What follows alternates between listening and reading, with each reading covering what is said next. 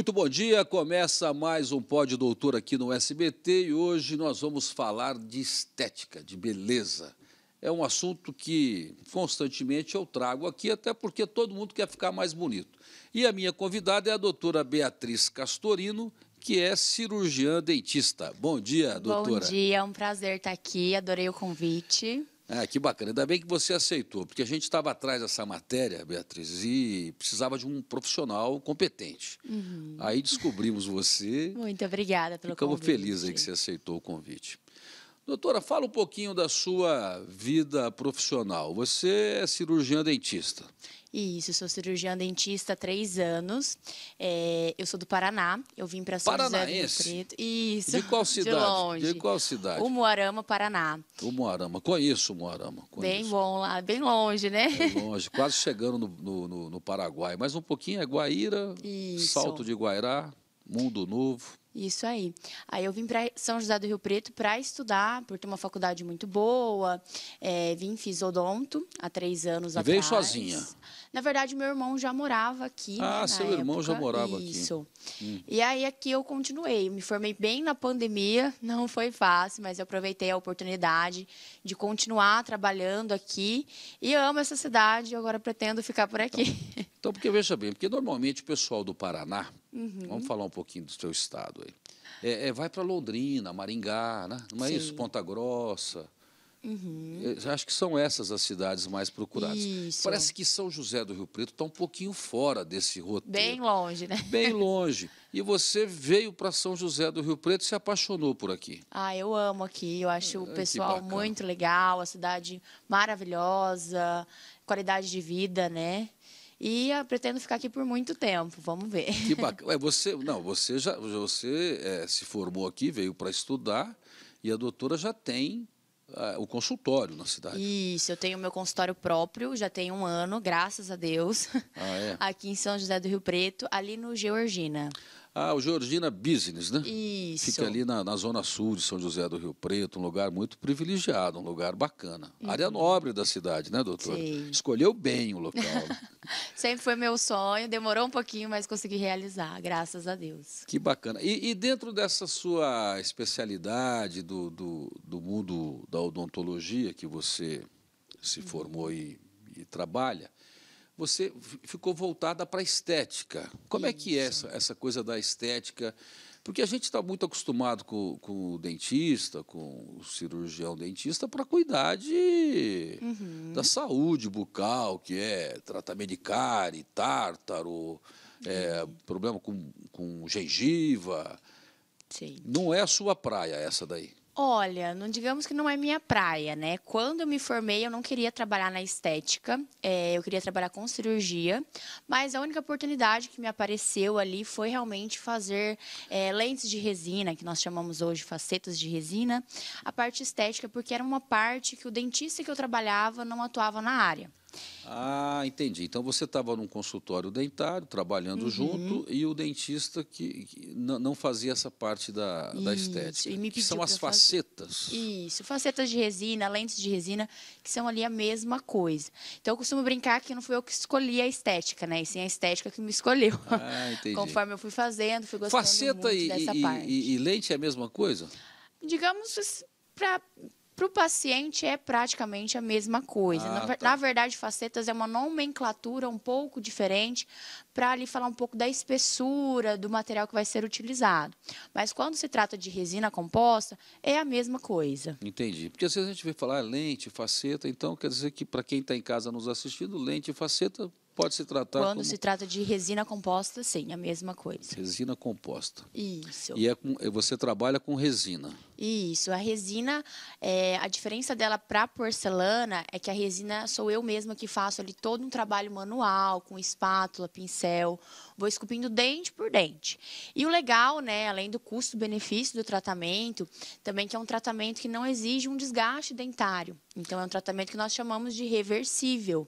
Para paciente que tem medo, às vezes, de se arrepender do tratamento, de ficar refém do tratamento, o legal é que nós conseguimos ali reverter, claro que desde bem feito e remover, removendo né, com um profissional qualificado. Porque, veja bem, essa questão do desgaste Isso é uma questão importante, porque quem Uhum. faz lá a faceta ou a lente, talvez o cara nem tem. O paciente às vezes nem tem essa informação. Não Sim. sei se tem ou não. O desgaste é imenso, né, doutora? Assim, para colocar essa porcelana, Uhum. faz um desgaste que o cara fica com, não fica com o dente, fica com um pininho ali, fica com os pininhos.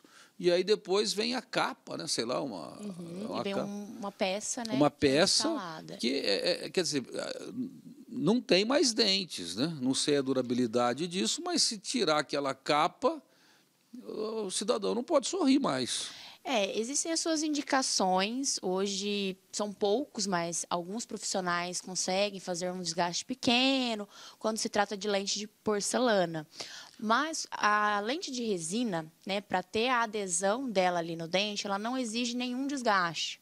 A resina não precisa não de- precisa de desgaste. A gente consegue aderir o material no dente sem que seja feito um desgaste. Já na porcelana, por mais que seja mínimo ou grande, eh, o paciente precisa passar por um desgaste para que haja ali uma adesão eh, física, mecânica da porcelana no dente. Doutora, no caso da porcelana, vem uma peça inteira que se coloca, Isso. né? É, é- é esculpido ou é, ou é moldado aquele, aquela, aquele, aquela faceta fora e aí é encaixado no dente. Uhum. Isso. É mais ou menos isso. Isso mesmo.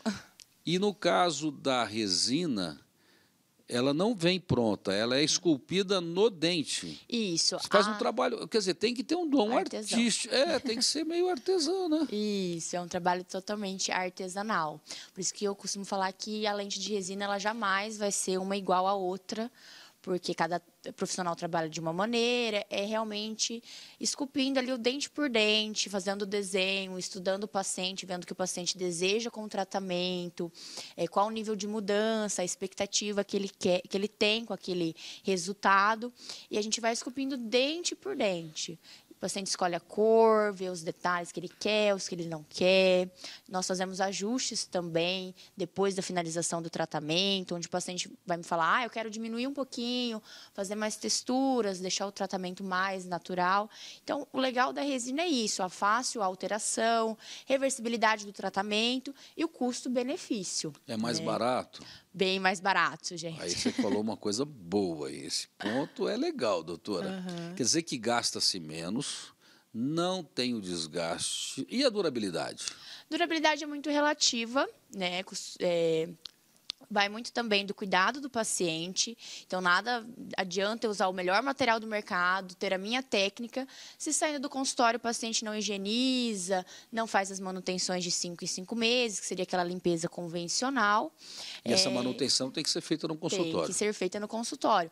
Assim como um paciente que, por exemplo, não tem uma lente, não tem nada no dente, também precisa cuidar dos dentes naturais. Ah, sim, é, porque já é, já, já é recomendado a cada seis meses procurar um, um dentista. Né? com Isso aí a gente aprendeu na escola lá na época. A durabilidade ela pode ser de até 10 anos, tá? É, como eu tenho três anos de formado, eu acompanho todos os meus casos. Tenho pacientes que são assim um orgulho, tem três anos ali de lente que nem parece que fez há três anos atrás, que estão incríveis, sem quebras, sem manchas, e o paciente está com a lente ali linda e intacta. Doutora, mas tem uma, tem uma questão também da qualidade da resina que o profissional Muito. usa, né? Porque eu, eu imagino que tenha, existam aí no mercado a, a boa resina, a resina excepcional, excelente, a resina que. Tem isso? Tem. É muito importante, eu falo dois pontos os mais importantes, né? É, a qualidade do material utilizado pelo profissional, desde o adesivo que vai colar a resina no dente, a resina utilizada. Hoje nós temos resinas no mercado de 20 reais até 600 reais. Aí. tá? Então, tem muita diferença de material, né? E também a técnica do profissional, porque de nada adianta você ter ali uma resina muito boa, de altíssima qualidade, se você não sabe esculpir um dente, não sabe deixar o dente ali bem adaptado na gengiva, é, alinhar a mordida do paciente para que ele não fique quebrando a lente, por exemplo. É, porque se estiver Então, são- mordendo errado, né? Fica- Ficar com a mordida torta, essa lente vai sofrer. E é recomendado uma plaquinha para dormir? No caso de pacientes que apertam os dentes, né? Durante o dia, durante o sono, e também no pacientes que rangem os dentes. Que é o tem um bruxismo. bruxismo. Isso. Aí recomenda-se. Aí recomenda. Agora, caso o paciente não tenha nenhum sinal, nenhum sintomas, a gente não recomenda nada. Agora, eu vou te fazer uma pergunta, estou curioso. Pode perguntar. Porque realmente, quando você pega uma resina, um paciente, e começa a esculpir, a, a- a fazer um novo dente em cima daquele dente, é um trabalho artístico. Muito. E você já tinha esse dom artístico de criança? Você foi descobrir na profissão, tipo assim, a arte está limitada só ao dente ou você consegue esculpir outras coisas? Olha, não tinha esse dom. É, eu falo que é uma questão de persistência. Se eu te falar que eu nasci com esse dom, eu vou estar mentindo. É, Quer dizer, você descobriu o dom de esculpir Isso. dentes após escolher a profissão que você é apaixonado. É a prática que vai levando na perfeição, né? Os É. meus primeiros casos, é, graças a Deus, eu já refiz quase todos. Então, os Ah, meus primeiros- precisou, faz, precisou. de- Na verdade, não precisou. A maioria dos pacientes ainda, gost... ainda gostavam dos dentes. Mas aí você Mas eu se- falei, se não, vamos se melhorar um aprimorou, pouquinho se aprimorou aqui. mais, aprendeu Isso. mais, desenvolveu mais o dom de esculpir. Sim. Falei, vamos melhorar um pouquinho, que agora eu tenho uma nova técnica. Então, nós alteramos esses casos, graças a Deus. Que Mas se bacana. você Não, vê ali muito legal de- você falar isso daí, porque Isso. você mostra a honestidade da profissional que você é, né? Uhum. E a sinceridade, né? Isso é muito bacana. Com certeza. Parabéns. Então, a gente vai melhorando conforme vai passando ali o tempo, né? É, falo que é a prática mesmo que vai levando à perfeição, não tem jeito. Dom é muito difícil alguém que vai nascer com o dom mesmo. Tá certo. Doutora, a gente vai chamar um, um breve intervalo, e já que você elogiou tanto São José do Rio Preto, eu vou, antes do intervalo, eu quero fazer um, um comunicado de um, de um patrocinador nosso aqui, que é o Flet Faria Lima. Você que está pensando em vir para São José do Rio Preto, eu recomendo, hospede-se no Flet Faria Lima. Fica na zona sul de São José do Rio Preto e você vai ter ali um tratamento fantástico, com apartamentos amplos, cozinha, sala, muito diferente de um quarto de hotel que você fica limitado ali só aquele hotel apertadinho, aquele quartinho. No Flat Faria Lima, não. Piscina, academia, café da manhã de príncipe, porque rei já tá, né, passou da idade, e você vai gostar. Fica a dica aí, Flat Faria Lima, aqui em São José do Rio Preto. A gente vai para o intervalo e volta num minuto só.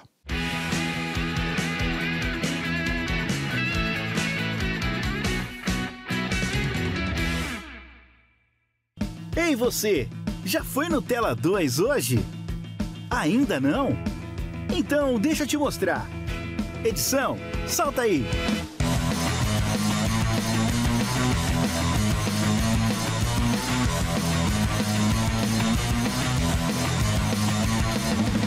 Tela 2, a plataforma de streaming cheia de conteúdo e gratuita para toda a família.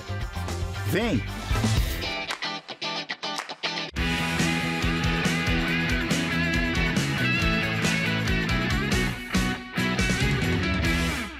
Estamos de volta aqui com a doutora Beatriz e dizer o seguinte, no Flat Faria Lima, princesa também, tá? Não é só príncipe, não.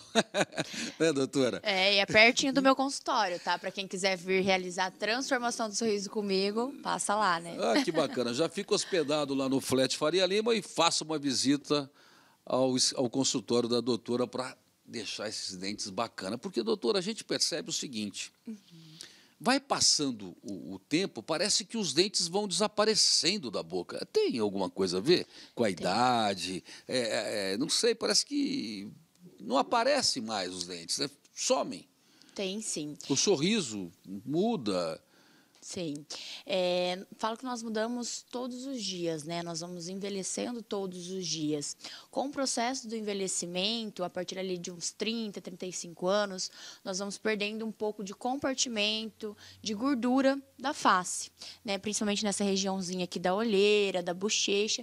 E o nosso tecido, por não ter um suporte, ele vai cedendo um pouquinho. Então, o lábio também vai caindo um pouquinho. Que é onde quando- esconde os dentes. isso, quando ali a pessoa vai sorrir, conversar, não mostra muito, né, os dentes, as pontinhas dos dentes. Além também, claro, de ter um desgaste todos os dias nos dentes, né? É, porque né, Não tem jeito, você está usando. Está usando, tem que, desgasta, né? Vai usando Sim. e desgasta. E aí eu, eu queria te perguntar outra coisa. É, eu ouvi dizer de uma, de uma coisa chamada aí, que eu não sei o que, que significa, e eu acho que tem, quem está em casa também já ouviu falar. O que, que é técnica realista? O que, que é isso? Técnica realista. O que, que seria isso? Técnica realista foi desenvolvida por mim. É, fiz diversos cursos, fui me aprimorando é, na área das lentes de resina e eu vi que o meu paciente ali estava procurando um resultado natural com as lentes. Mas não tão natural também, que pareça dente, é, com a cara do dente, porque senão a maioria dos pacientes não iam fazer lentes de resina, né? Eles querem ali uma mudança, uma estética mais favorável. Então, a lente realista nada mais é que uma lente de resina que tem bastante detalhe, tanto na, nas texturas ali que imitam um dente natural, uma pontinha mais transparente, aquela translucidez, que entrega um resultado ali bem parecido com o de uma lente de resina, por exemplo. Não é aquela lente de resina, é, lente de porcelana, perdão. Não é aquela lente de resina lisona, que o dente é todo da mesma cor, né? É, a lente realista, ela vem com uma alteração ali na cor da pontinha do dente, uma textura maior, mais detalhes que deixam o trabalho mais fino e mais natural. Quer dizer, a técnica realista é fazer a, a, a resina, né, a faceta de resina, mais próxima da realidade do dente. Seria isso daí? Isso, isso mesmo. Como o nome já Resumindo, diz, É, realidade. é essa daí. Agora, tem gente que quer aqueles dentes bem branquinhos, não tem, doutora? Sim. Ah, eu tem. quero branco, branco como a neve, sei lá, Aham. branco... O que, que é mais? O que, que é muito branco aí que se fala? BL1. Hã? É, BL1 é uma cor que a gente chama que é B- muito branco. B- BL1, que é o muito branco. Isso. E, e- e tem gente que pensa assim, fala, não, já que eu estou fazendo a, a- a faceta, eu quero que apareça que eu fiz a faceta. Uhum, com tem. certeza.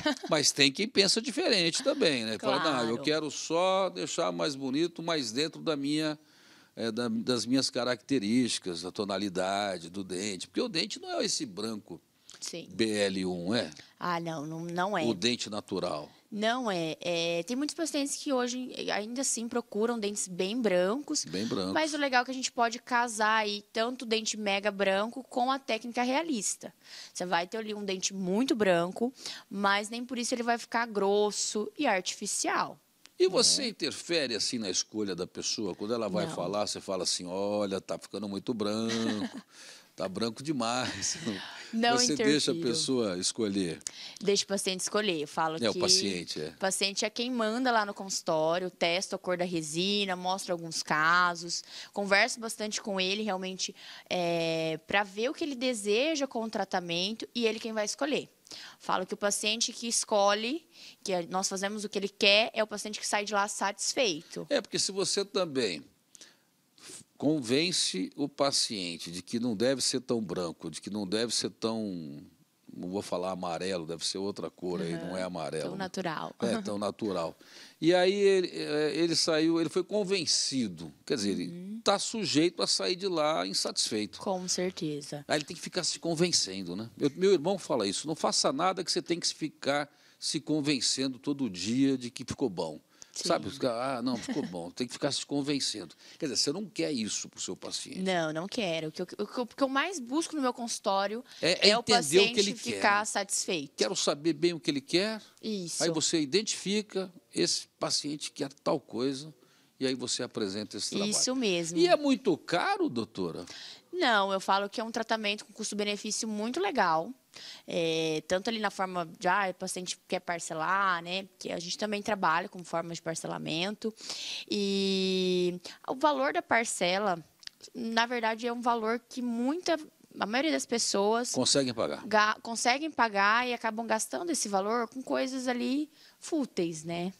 Então, a maioria dos pacientes conseguem pagar, é, desde que queira fazer, consegue pagar. Não, não é caro, não é nada assim exuberante. É, a pessoa coloca um propósito, fala, vou fazer, vou pagar, dá certo, Isso faz. aí. É, Aham. só, é só colocar como meta. Sim, para você ter uma noção, E também não é nada, é, é- mas é bem mais barato que a porcelana. Né? bem mais barato que a porcelana. E tem muitos pacientes que, quando a gente passa o orçamento, ele fala: Nossa, é só isso. Só isso. Sim. Só isso? que, olha, fiquei curioso para saber aí. Talvez pela, pelo tratamento, pelo resultado que vai proporcionar para a vida do paciente. Ele já coloca ali um valor, né, não só no preço, mas também pelo resultado, é, pela mudança de vida, autoestima. E acaba quando vê o preço, tá bem abaixo do valor que ele colocou. Mais uma curiosidade minha aqui. A faceta é, de resina, né? É assim uhum, que vamos chamar. Isso faz nos dentes superiores e inferiores ou só nos superiores? É, nós podemos fazer tanto nos dentes superiores como também nos inferiores, mas vai muito do que o paciente tem e o que o paciente quer, né? Qual é a expectativa do paciente com esse resultado? Caso o paciente queira fazer só nos dentes superiores, para aumentar um pouquinho, mudar formato, tamanho, características do sorriso, e não se incomoda ou não mostra os dentes inferiores, ele não, não precisa fazer. Né? Assim como pacientes que mostram arcada superior, inferior, que tem coisas ali que o incomoda, aí nós conseguimos fazer tanto na superior como na inferior também. Ah, então é possível ser feito. É possível. Eu achava que só poderia ser na superior, por isso que eu perguntei. Claro que tem alguns casos por questão de mordida, né, que a gente também leva em consideração a parte funcional, que é indispensável. Aí é, não recomendamos na parte inferior, mas são casos assim bem raros. Quer dizer que é possível ser feito. Sim, é possível ser feito, sim. E tem aumentado muito, doutora, a procura? As pessoas estão procurando? Como é que é? As lentes de resina, muito. Hoje as pessoas elas estão se cuidando muito, né? É, com a internet e, e, também com TV, blogueiro. Muita selfie, né? muita Isso. as pessoas estão se cuidando muito, procurando sempre ali melhorar a parte estética, né? Cuidando da saúde também mental né? Você se sentir bem, ter uma autoestima. Então a procura está bem grande aí na parte das lentes de resina. E, e, se alguém quiser agendar com a doutora, tranquilo, pode tranquilo, fazer, consegue encaixar um atendimento. Com certeza. Permite divulgar o telefone? Claro. O nosso WhatsApp é 17 98182 9858. Só mandar uma mensagem lá que a Laura vai responder vocês e a gente se encontra no consultório para fazer uma consulta. Mas olha que bacana, hein? Que bacana isso daí, viu? Porque eu acho o seguinte, a questão da autoestima, é, doutora Beatriz, é, é, é muito importante para o psicológico da pessoa, para ele poder sair bem, né?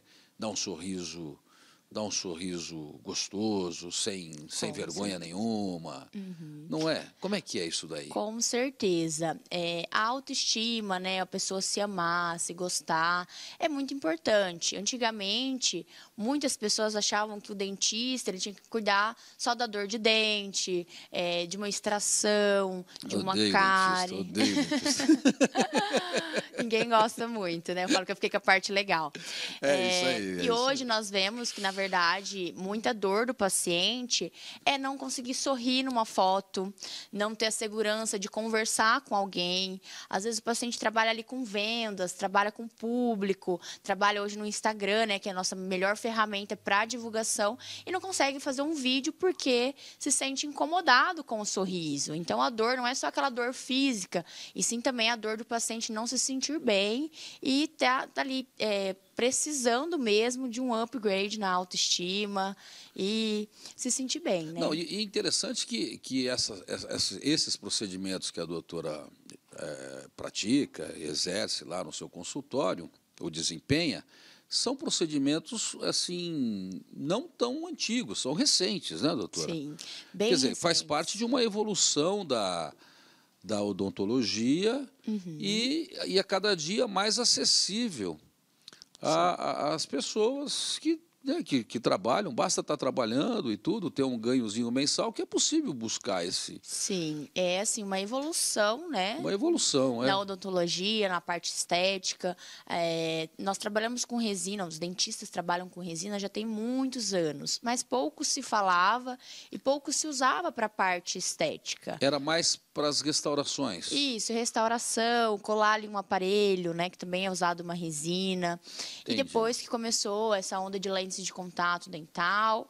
Aí começaram a usar realmente a resina composta para também melhorar os dentes, né? A e estética evitar, dentária. O, e evitar o desgaste, né? Sim, evitar o desgaste, fazer com que o paciente tenha ali uma condição para fazer o tratamento, né? Um tratamento com, com um custo-benefício bem legal, um gasto menor do que uma lente de porcelana.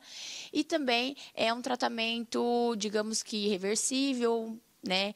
Porque é, os dentes de fácil estão alteração. ali, né, no- os dentes permanecem intactos, né, por isso que é reversível. Sim. Doutora, o nosso tempo está acabando. É uma pena. Eu queria falar mais. Mas você tem aí um minutinho, doutora, para dar um recado, se despedir do nosso público. Ai, foi um prazer vir aqui. É muito legal esse convite, falar um pouquinho mais sobre a área que eu amo, né, que é odontologia estética. Eu acho que todo mundo merece se sentir bem quando sorri, quando se olha no espelho, quando conversa. E é por isso que a gente trabalha, né, para entregar para o paciente ali um resultado que vai realmente mudar e melhorar a sua autoestima e a sua vida. Então é isso. Muito obrigada pelo convite mais uma vez. E aguardo você aí que está me assistindo no meu consultório. Tá certo. Doutora, muito obrigado. A gente fica muito satisfeito com, com a sua presença. A caneca é um presente do, do programa. Quando você chegar no consultório da doutora lá e não tiver a caneca exposta lá, você puxa a orelha dela que eu permito. Pode deixar. E você que está em casa, a gente se despede por aqui, lembrando sempre que em São José do Rio Preto, você deve se hospedar com qualidade no Flat Faria Lima. Um grande abraço a todos e até sábado que vem.